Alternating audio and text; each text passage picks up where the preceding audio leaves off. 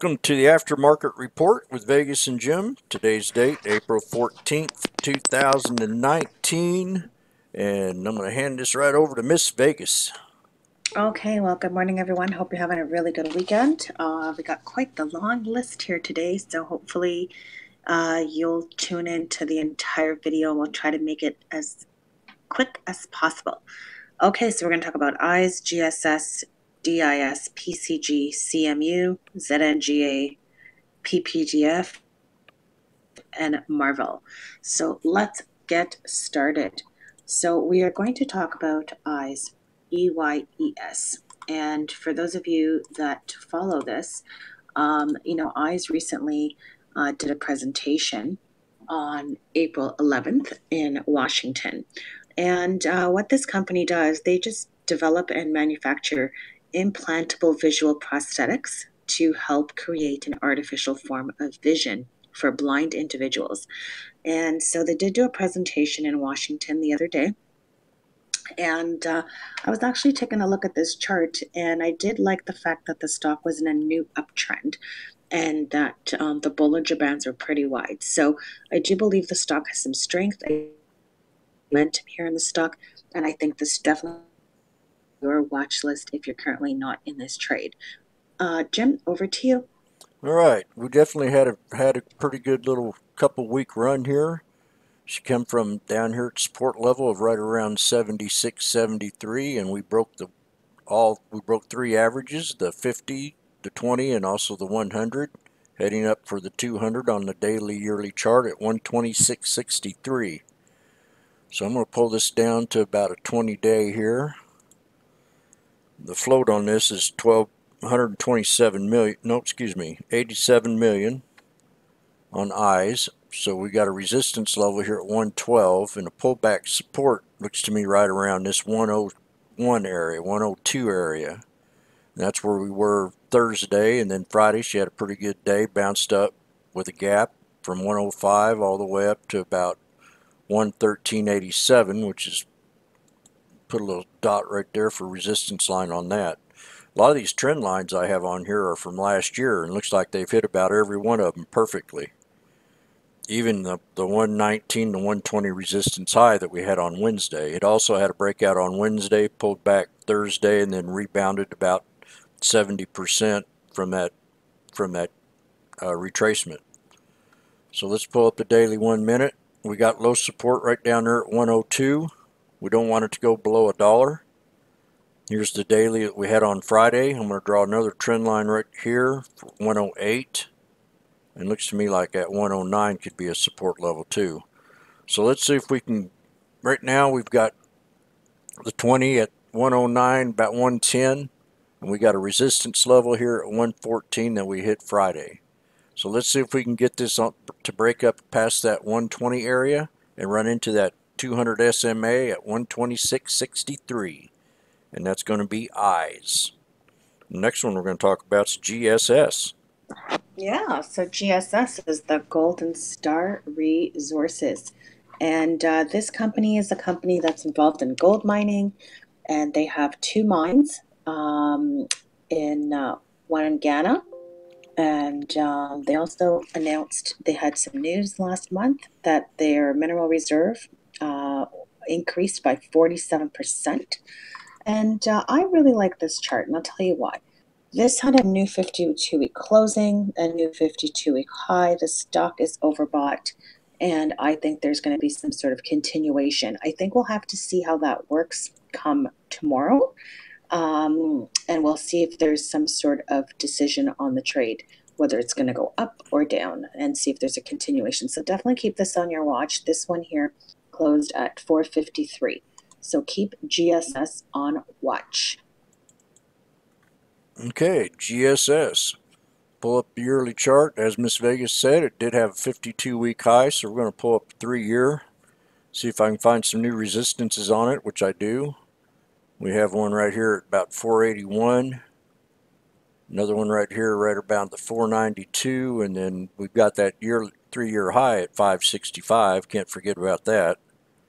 We got another one right here at five bucks. That's what we need to break to bring it up to the next level. That next level about 510 to oh, 517. So I'm looking at what I think would be a, we did break that previous high, and it kind of support level would be right around the 443 area. So I'm going to draw that little trend line right in here at 443. Pull up the 20 day and see if I missed anything here. I see one little spot right here. Could be a support at 434. Pretty solid about that 434 for a pullback. then at 439, that's going to be your first support. It's probably your second support with your first one sitting there at the uh, at the 444 area. So we're going to pull up the daily, one minute, daily three minute.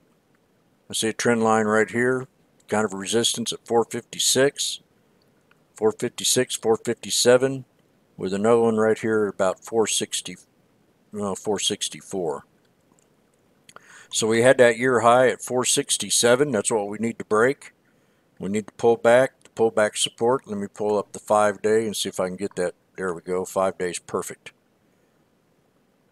So at 439 looks to me like it's going to be your second support with a low support right down here right around the 430 area. But I think she'll go ahead and continue on up. Like I said, this is a pretty nice little chart. You can tell by the 20 day when we had that low down here at 371 and she had that good five day run and I always have a five day plan when I'm looking at trades, and I usually get out on the fifth day. But we've consolidated last week with the low support right around that 439, which is going to be our second support. And with the res resistance we got to break, is going to be the 456 come out Monday morning. And that's going to be GSS, and we do have a long-term resistance on it. Let me pull up the ear chart, see if we can see it.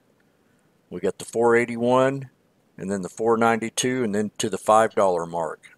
And that's GSS and the next one we're going to talk about is one of one of the best picks that I've seen Vegas do in her options trades and that's going to be Disney. Yeah, so just before I go there, uh, just to mention on GSS, yeah. uh, they did have um, a presentation at the European Gold Forums uh, recently and uh, they did have a, a, slide deck and uh, you know uh, they were just talking about their production. But one thing I just do want to comment uh, if you're going to be looking at the stock for a swing trade uh, or even a potential day trade for a continuation this week. Um, is that they do have a strong cash balance of $96.5 million.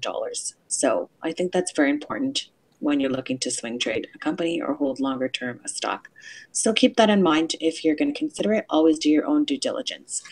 Okay, so now over to Disney. So, what an amazing stock this is. And, um, you know, Disney had great news. So, you know, they unveiled uh, their Disney Plus uh, streaming service. They had Investors Day on Thursday, and investors gave the company a standing ovation. That is how much they were excited to hear about this Disney Plus streaming service. This actually sent the stock flying over 11.5%. Uh, they did mention that the service for this Disney Plus will be $6.99. You can get an annual plan for $69.99, which is significantly undercutting Netflix raise their prices. Um, the service for Disney Plus will launch November 12th with significant new original content and offering from Disney's libraries and assets coming from the Fox acquisition. And in the first year, Disney Plus will feature 25 original series, 10 original films and documentaries, and along with 7,500 episodes and 500 movies from the company's trove of content.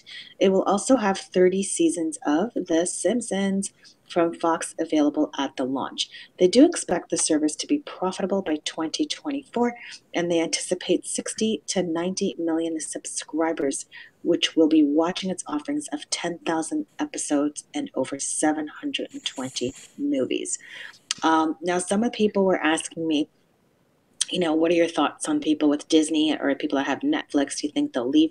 You know what? Netflix is honestly, in my opinion, still not overpriced. I mean, you know, to pay $14 a month, I think it is at the moment uh, for Netflix. Um, and there's a lot of really good shows on Netflix and TV series that people really are hooked on. Um, so I think what's going to happen is if someone's already a Netflix subscriber, I think they're going to check out Disney Plus, and then you know what? They might like it and keep both. Um, I don't really know if someone's just going to cancel Netflix and go straight to Disney Plus. I think they're going to want to first check it out before making the decision. Now, if someone has no Netflix, then I think, you know what, with the price being half price from Netflix, I think definitely that will be very attractive to people that currently don't even have Netflix. I think they'll be wanting to check out Disney. Oh, I want to congratulate all the option traders that traded the Disney stock we alerted this stock uh, an option call, and we alerted an option call. It was 85 cents, and we picked a strike price of $120 and it cost us 85 cents. And congratulations, because people sold it for $10, which is a $1,000 gain, um, and all the way up to about $11. So people banked on that uh, significantly. So an $85 investment, uh, you would have gained about 950 $15 uh, profits for one contract. So that was just absolutely incredible. I had one person in the room who messaged us, and I did post that on social media on our Twitter. You can check it out. Um, she said that she made $3,500 on Disney calls. Um, so that just goes to show you that sometimes a small investment can actually do well if the news is great too. So not every option call works like this. Um, but you know, in Disney's case, uh, it worked out great, and we, we, were expecting positive news, and that's why we bought the contracts. Uh, so, congratulations to everyone. I think the Disney chart also super bullish. Uh, new 52 week high. We haven't seen this in years, and definitely, I believe that all these dips that Disney did incur the other day, uh, those are a gift. I actually know some people that are investing in Disney and they said that any pullbacks that they see on the stock, they are going to scoop it up. So, you know what? I think uh, the stock has a future. And now that it's have all these new features, I think we'll hear more about Disney. And I think it's look great for a long term, in my opinion. Remember, we're not licensed professionals. Always do your own due diligence and speak to your financial advisor. Jim, over to you. Yeah, they got two price targets on Disney too. One at 137 and one at 140. So that you know, that's still telling you. I think it's going to go up. Also, this is a very strong pick, Miss Vegas. Good job last week on this one. So we did hit a ten-year high too, which was a five-year high, and then we're up here at 130. We hit a 130.90 on Friday. So let's pull up the 20-day. 20-day ain't going to tell us much. It definitely tells us that we were down here at 107.32 on a double bottom, and she's run up three weeks in a row after that. And then Friday she had that great run starting out in the morning, took off, went up to that, had uh, almost had it, starting to work on a double top high at 130.90. So let's look at the daily three minutes, see if I can find you a pullback support, which I think no lower than 126.55 if it does pull back. If it does, it could gap on up, break that high at 130.90 and continue on up maybe next week to 137 to 140.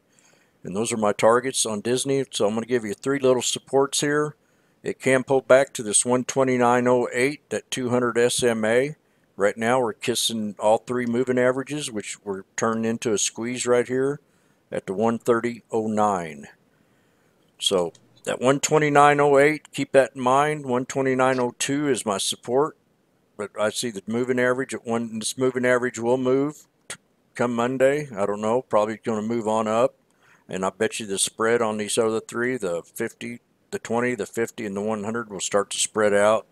And we're going to go ahead and move on up to that 137 to 140 area by next week or by the week after.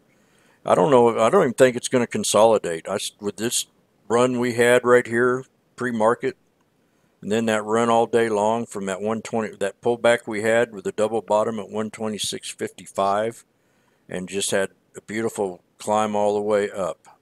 So my targets are 137 and $140 on Disney. The next one we're going to talk about is another good runner that we called out in the room, and that's PCG off Good News.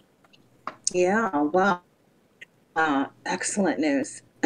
um, but first of all, I think people need to know what this company does. Um, they are a wildfire safety program, and they also um, are they invest in clean energy futures.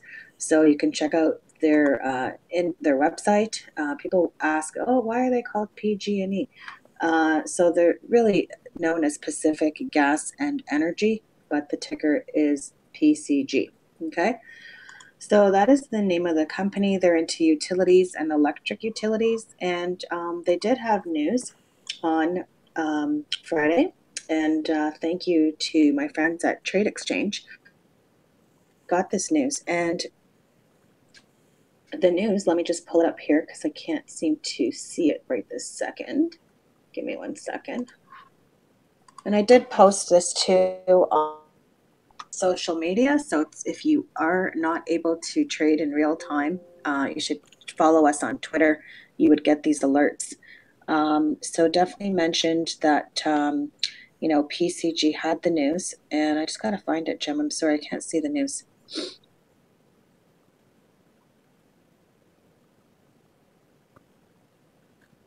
No, can't see the news, Jim. Sorry, Okay. can't read it to you guys. Okay. But the news was positive, um, and unfortunately, I can't see it right this second. So, Jim, are you able to pause the video? We found the news. Okay, so PCG, and uh, the news was that um, uh, Newsom Strike Force that gives PG&E legal protection from the devastating cost of fires, and that was from Sacramento News. Um, so that uh, information was filtered, and uh, I have to say congratulations to Miss Endelar. I mean, she right away jumped into the option calls, and she picked one for expiry for next Friday, the 18th, and uh, she bought, I believe it was the 139 strike or the 125 strike. I'm not sure exactly. Has 200% gains on her contract. So, congratulations to her for picking that up immediately based on the news that we shared. So, it does pay to uh, connect and follow the news and to be in the always talks about. So, Jim, over to you on that chart. All right. Well, let's look at the yearly daily.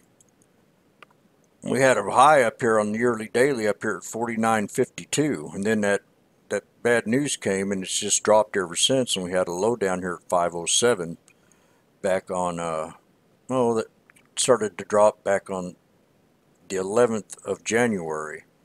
And then she had a good little bounce and she kind of found a resistance up here at 19 around 20 bucks. And then pulled back a little bit to a support level right here at 1688. So let's pull up the 20 day, see if we can find anything different on it. I see a support level right here at around $20 and another one right here at 1956. Then I see another one right here at 2169. We're going to pull up the one dent three minute. Got a resistance level right there at the 22. She did pull back to support after the news came out to 2125 after it run up from the bottom there of 1893 all the way to 2271. So we're going to look at this coming Monday. We're at $23. We closed at 2308. I think it can pull back a little bit to right around the 2229 area for your second support. Your third support's going to be right around the $22 area. Pretty close to that 100 SMA. So these and we got to break the resistance of 2331 right here. 2339, 2329, somewhere right around that area. So you got your first support right here at 2271, your second support right here at 2229, and your third support right around the $22 area. And if it dips below that, no lower than 2125 is going to be your low, low, low support. And we got to break the resistance of 2331. I think it did have too big of a run off the news, but we do I think it will pull back a little bit and then retrace. So you might get a good dead cat bounce on this baby. That's PCG. And the next one we're going to talk about is going to be CMU.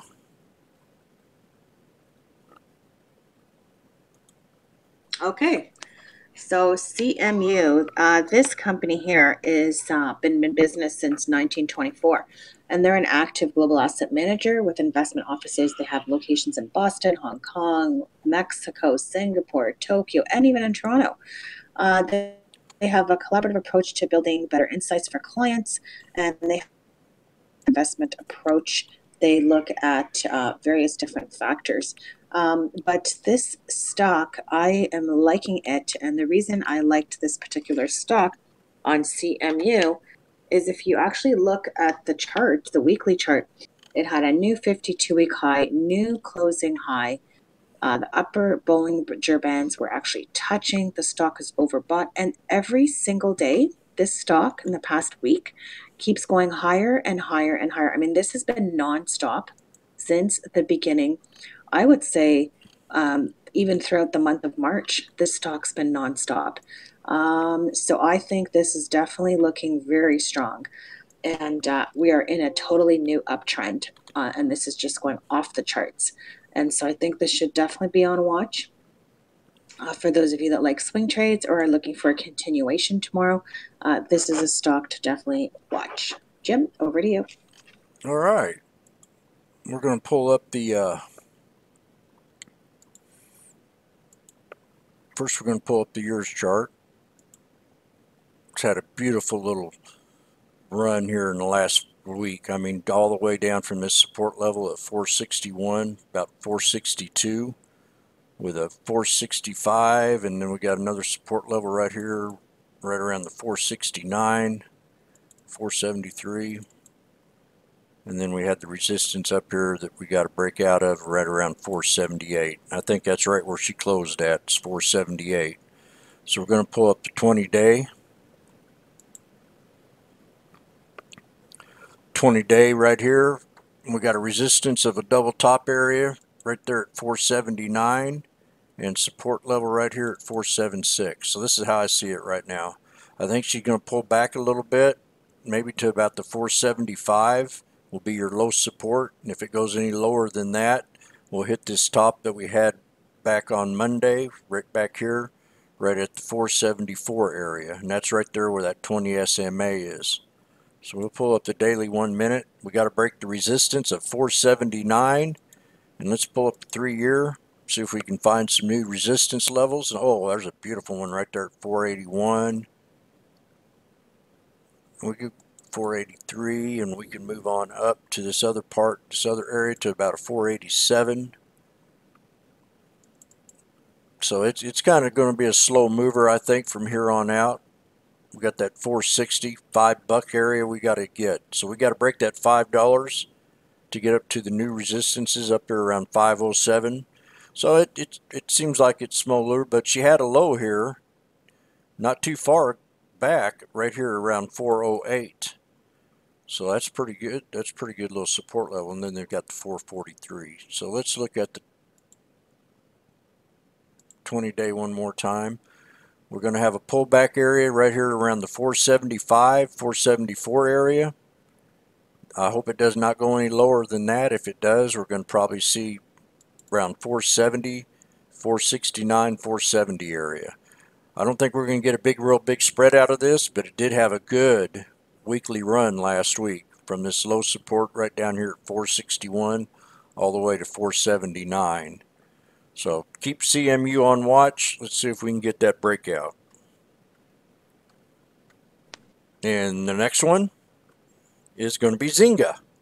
Okay, so Zynga, you guys know I really stock. Uh, this is in the gaming company. They're very excited. They have um, launched different things like Words with Friends um, they got all kinds of mobile apps, and I am just seriously waiting for a breakout on the stock. Um, this stock is just making new 52 week highs, and um, and this is constantly showing me a lot of strength in the stock. Uh, we do have this on the option side. We have the 550 calls. We have calls that expire next week, and we also have calls that expire the week after. So Zynga is one to watch because I'm really looking 555, 557 mark uh, for the next leg up. So uh, Zynga's on a beautiful trend. I mean, if you actually look at the chart from December all the way to now, this has just been going constantly going up, up, up, and up. So um, we just need Zynga to get some push.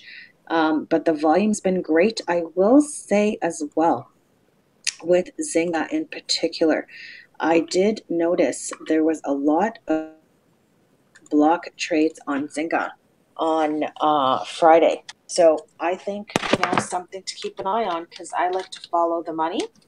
And on Zynga in particular, um, there were a lot of block trades uh, at the end of the day, and coming in. So what I saw during the day, I saw block trades for over uh, 40,000 shares, which is quite a bit of money. It's 220,000. I saw shares uh, go through at 100,000 shares at 550. And I also saw a block trade of 250,000 shares, which is a $1.375 million of money going into the stock. So I believe Zynga is currently being accumulated for the next move. The smart money is in the stock. So definitely, I like it for a swing trade and definitely holding longer term. Jim, over to you. We're working on a double top area of Zynga right now. It did have a pullback here to 4528. This is not a very big spread on the yearly. Oh, this is a 20 day, so let's pull up the yearly real fast here. We've had a wonderful run off the yearly chart down here at 332, the bottom that came out back last year in January or in December, and she's ran straight up ever since from that 332 up to resistance high that we had a couple weeks ago at 555. She did pull back and now she's bouncing back up to that top. So we're looking for a double top breakout. I'm going to pull up a three year and see if I can get any new resistance. We're at a three year high for a double top breakout. We're going to pull up the 20 day, one hour, and there's your double top right here. That resistance level was right around 553 area. We closed at 552. We did have a, a morning high at 554. So what we need to do is break that resistance at 556 to move on up with this thing. If it does, pull back. It can pull back to this 547 area, maybe even down here to about 544. So those are my support levels. You can stop this video at any time you like and go ahead and draw down, draw up these uh, support and resistance lines. And we do have a low support down here at 541. So we got to break the resistance of 556. And that's Zynga. The next one we're going to talk about is PPDF. Okay, so PPDF, I really like this one. And the reason I like it is because you guys know that I love a barbecue. And uh, this short squeeze is going to eventually happen on this stock. Um, this company is the PPD Group. And um, this company is involved in various different things, uh, but mostly in the financial services. So um, you guys can check out bit, you know, of an awkward website because it's obviously not in English. You can try, but uh, it's it's not going to come up uh, properly. So, um, but the ticker is PPDF Jim. Yep. And um, that is the ticker that you guys can check out, and you you can see more about the company. But I'm looking at this one from a swing trade perspective and um, looking to see a short squeeze in the making. It also showed up on my short squeeze list. Uh, so we currently do have this stock as a um, potential squeeze, and there are people currently already in the swing trade. Uh, but I do want to just mention this company, uh, just to give you a little bit of information. Um, they are in the consumer finance marketplace and have actually a lot, uh, pretty strong brand recognition. They started out in 2007, and the company is an online consumer finance marketplace. And what they do is, I think I've talked about the stock in the past, connect the borrowers and investors. And uh, they're a pioneer in China's online consumer finance marketplace. And so, what they do is they look at various multiple uh, loan life cycles. And um, the company's platform has a lot of uh, different kinds of um, cutting edge technologies and it looks at loan transaction processes and tries to make the user experience friendly which can actually drive customers to want to come on here to get a loan. So um, this is actually a uh, concept. They actually did present at the Morgan Stanley um, conference back in March, at, towards the end of March, so not that long ago.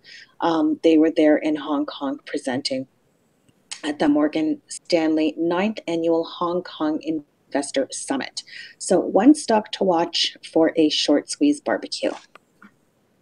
All right. Well, there's the website right there. It's not much, but it does show a little bit. Let's go ahead and pull up the chart. Yearly chart, we have a yearly high of 680, not a yearly high, we have a yearly high up here right around 845 with a 797 and so I'm drawing a few resistances up here if she decides to break out. We did have a triple bottom down here with a low support right around the 285 and she bounced on up and she's pulled back bounced up a little bit pulled back and created a nice little cup and handle right here in the last month or so. And now she did kind of break her up here at a resistance top in this channel right here right around the 546 and she's got some different resistances that move on up and they're going to be right around this 572 kind of hard chart to read in a way because she's like a roller coaster. But definitely here in the past couple weeks, she's had a pretty nice little run from that 381 all the way up to 5 the 546 where she needs to break this resistance to move up into this next channel. That next channel is right around 533 up to oh, about 686 with a pivot point area right in here right around the $6 mark. So this is PPDF. Keep her on watch. She did have a nice little run here in the last week and a half from that low support of 381 all the way up to about 550. And that's what we got to break. That's that resistance. You see we've had the triple top and she tried to do it the third time and couldn't do it, pulled way back. And now we're back up in that resistance level again. So I can't wait to see what this thing does Monday. I'm going to be eyeing it pretty close. And the next one we're going to talk about is going to be RMED. Okay, so RMED is RA Medical Systems. They are a commercial medical device company. They develop and market uh, laser systems for the treatment of vascular and dermatologic diseases. Um, now, this company uh, is actually, or ha- it will be presenting this week at an event in London. And uh, they're going to have a couple different workshops as well. And uh, recently want to showcase their, um, I guess, what they call their DABRA. DABRA means the destruction of arteriosclerotic blockage by laser radiation ablation. So really what it does, it's like a laser treatment that helps to restore the blood flow um, in the arterial wall and hopefully it'll um, alleviate any kind of uh, amputations because every year there's over 200,000 people that have a leg amputated, which is directly related to vascular disease. So they're hoping that with this treatment um, and this laser system, that it provides a treatment option to quickly, safely restore blood flow to save patient limbs and obviously improve their lives.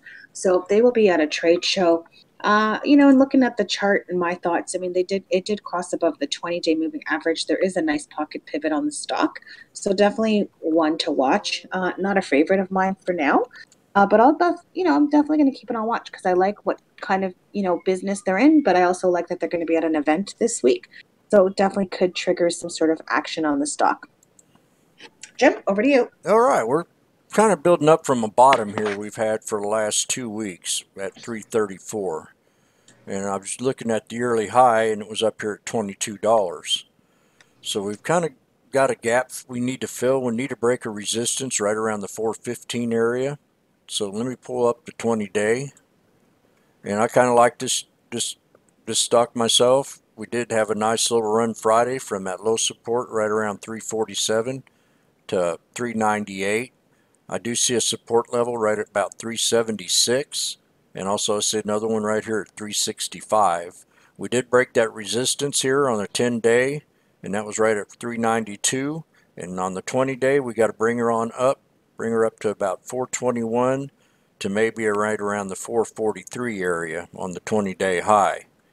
So let's pull up the daily three minute.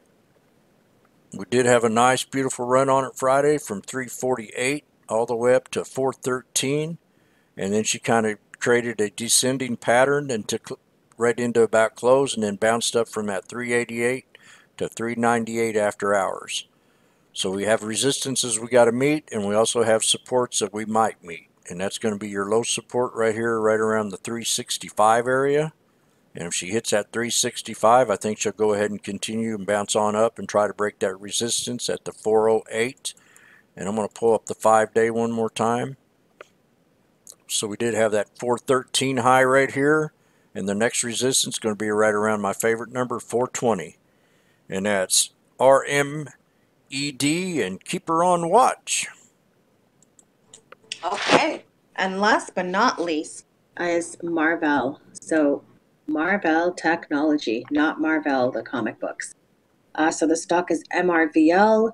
Uh, this had a nice 52 week closing high. It is definitely on a breakout. And I really like where this stock is going. Um, this company, you know, they are into the automotive solutions and uh, they have all kinds of products if you want to check out their website. Um, they have the automotive Ethernet. Um, they have storage options. They do a lot of, um, you know, self park. They have Ethernet adapters. They have what they call microcontrollers, uh, where people can use things for home automation with a remote control. They're very involved in the Internet of Things. Um, they also have security solutions for hardware. They have processors. They have they're into storage. They're into wireless chips. I mean, they're into everything that's involved with technology. So you can definitely check them out. Uh, very interesting company, um, but definitely uh, the stock specifically is ready for a continuation and it looks really, really strong. So, Jim, over to you to tell us about that chart. All right, Marvell. It's a pretty good looking website. I like companies that have nice websites. I really do. I think it it beats one that has a poor website. I'm going to draw a couple trend lines on here.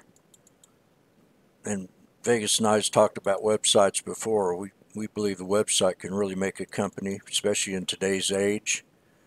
So we had a resistance high of right around the 2393 area. She did have a beautiful run Friday, all the way from 2292 all the way up to 2293, almost a whole dollar.